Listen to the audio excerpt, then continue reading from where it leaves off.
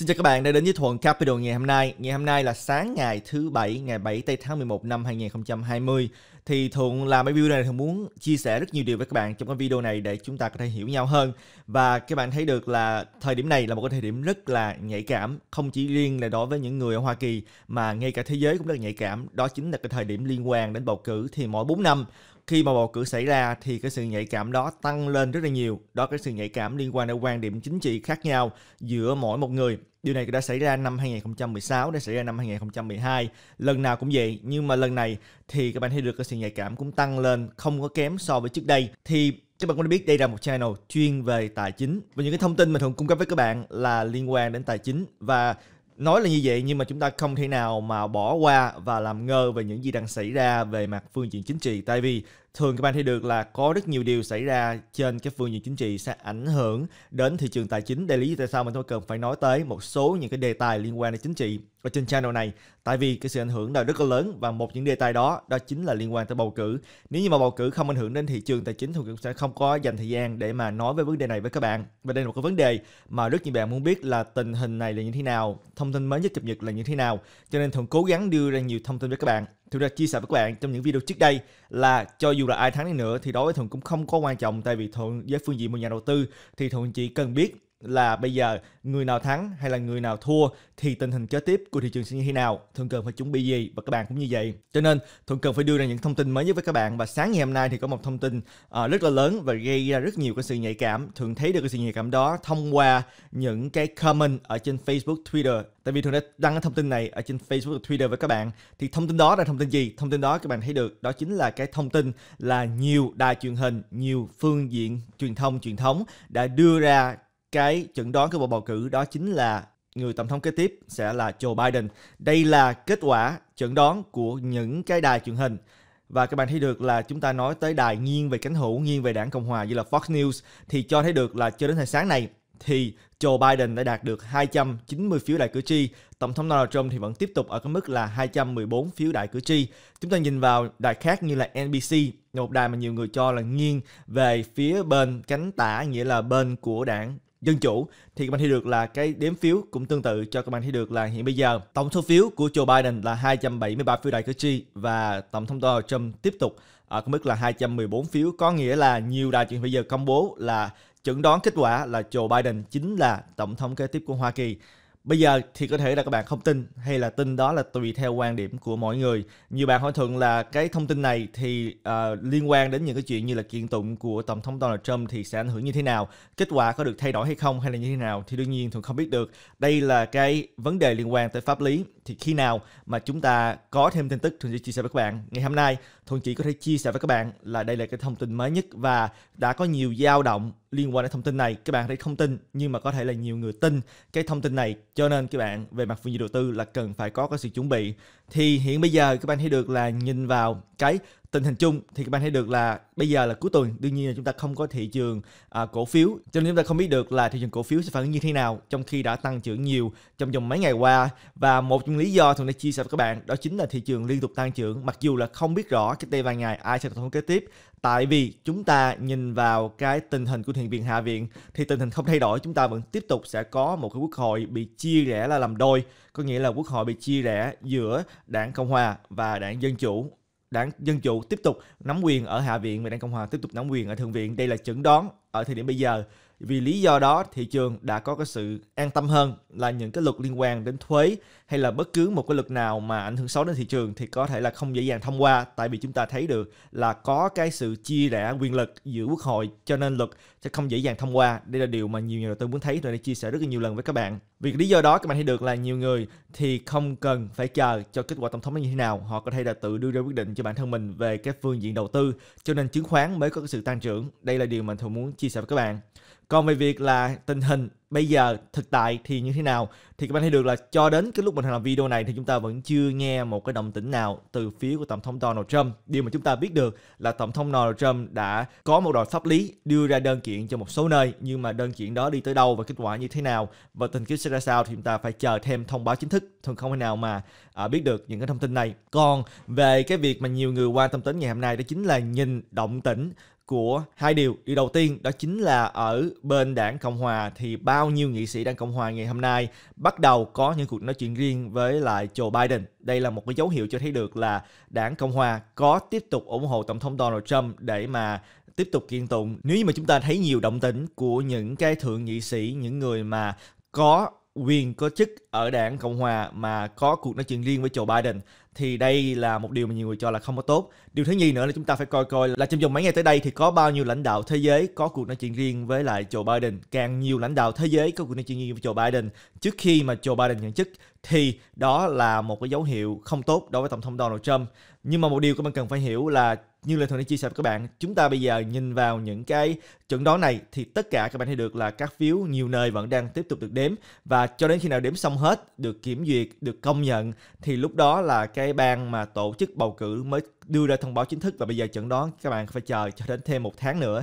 Cho nên thị trường thường sẽ không có chờ đến thời điểm đó. Các bạn thấy được là bắt đầu thứ hai, thị trường sẽ có nhiều cái sự dao động dựa theo những thông tin này và những cái cuộc bầu cử trước đây cũng như vậy. Thị trường không có đợi cho đến khi có công bố chính thức đến từ ban tổ chức bầu cử mà thị trường sẽ phản ứng dựa theo những thông tin hiện có. Cho nên đây là một điều mà các bạn cần phải nắm được chúng ta nhìn vào thị trường Bitcoin đi, các bạn thấy được là tuy chúng ta không thấy chứng khoán hôm nay như thế nào, tại vì hôm nay là thứ bảy, chúng ta cũng không có thị trường hợp đồng tương lai. Tại vì thị trường hợp đồng tương lai thì ngày mai mới mở cửa, nhưng mà các bạn thấy được là Bitcoin đã bắt đầu rơi xuống, bây giờ có mức là 15.049 đô. Không biết là chúng ta thấy cái sự rơi xuống này là Bitcoin uh, điều chỉnh là một phần tại vì tăng trưởng quá mạnh cho mình thấy được. Trong vòng mấy ngày qua mà tăng trưởng qua 13.000 đô, 14.000 đô rồi qua luôn 15.000 đô, muốn thử 16.000 đô. Thì đây có phải là một cái sự điều chỉnh lại của Bitcoin hay là không? Và chúng ta cần phải coi coi Bitcoin khi mà điều chỉnh xuống thì cái mức hỗ trợ tạm thời là ở cái mức nào? Cho tới bây giờ các bạn thấy là Bitcoin mà tiếp tục rơi xuống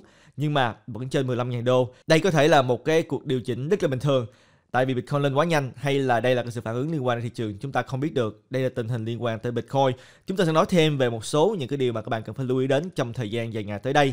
Nhưng mà trước khi mà chúng ta đi vào thêm chi tiết thì cũng như thường lệ, tất cả chỉ vì một thông tin và không được xem là lời khuyên đầu tư. Và nếu như mà các bạn thích cái video này hay là các bạn thích những cái video tương tự thì bạn đừng quên nhấn cái nút like và đăng ký vào kênh để giúp kênh được tiếp tục phát triển. Thì chúng ta nhìn vào cái tình hình à, liên quan đến cái cuộc bầu cử này thì như thường mới vừa chia sẻ thì cho đến bây giờ lúc này video này chúng ta vẫn chưa nghe một thông báo mới nào đến từ bình phiếu của tổng thống Donald Trump. Còn về cái việc kiện tụng thì bây giờ chúng ta không biết được là những cái vụ kiện tụng này bước kế tiếp là như thế nào. Chúng ta đã biết là có một số đơn kiện được đưa ra từ bên phía của tổng thống Donald Trump.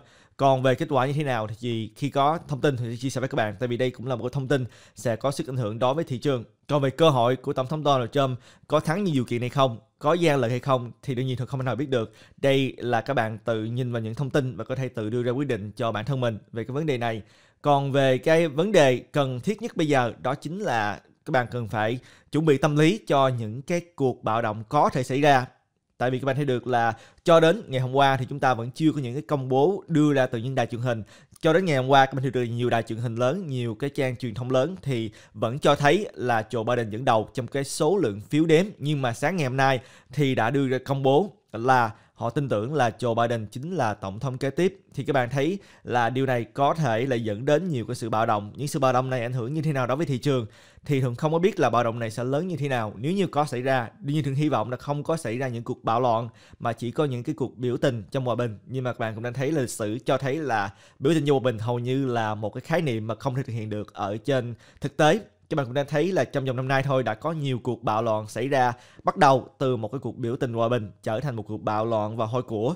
Thì chúng ta cũng đã thấy những cái cuộc hôi của bạo loạn đó xảy ra cách đây vài tháng, xảy ra hai ba lần, hai ba tuần liên tục.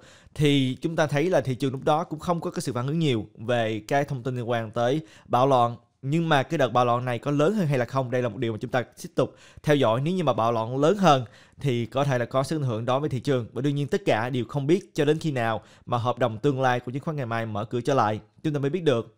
Còn xa hơn một chút nữa thì một trong những cái nghi vấn bây giờ đó chính là cái sự đàm phán liên quan đến gói hỗ trợ.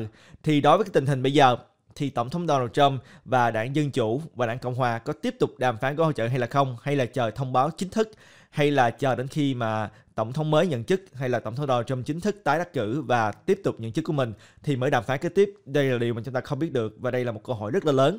Nếu như mà đảng Dân Chủ, bây giờ các bạn thấy được là nhiều dẫn chứng cho thấy là đảng Dân Chủ rất là tin tưởng là Joe Biden là tổng thống kế tiếp, thì các bạn nghĩ là đảng Dân Chủ bây giờ có tiếp tục đàm phán với Tổng thống Donald Trump hay là không? Hay là sẽ đợi cho đến tháng 1 khi mà đảng Dân Chủ tin tưởng là Joe Biden sẽ lấy cái ghế tổng thống, lúc đó mới đàm phán với lại Joe Biden sẽ đơn giản hơn là đàm phán với lại chính quyền của Tổng thống Donald Trump nếu như mà chờ đến tháng 1 mà tình hình dịch bệnh tiếp tục tăng trưởng ở Hoa Kỳ liên tục trong vòng mấy ngày qua dẫn đến là cái nguy cơ là lại bị đóng cửa trở lại, người dân lại không có việc làm, tình hình kinh tế thì đang trong cái tình trạng hồi phục rất là chậm mà bây giờ lại phải đóng cửa ngược trở lại mà không có hỗ trợ thì đây là một điều rất là xấu đối với tình hình của thị trường tài chính.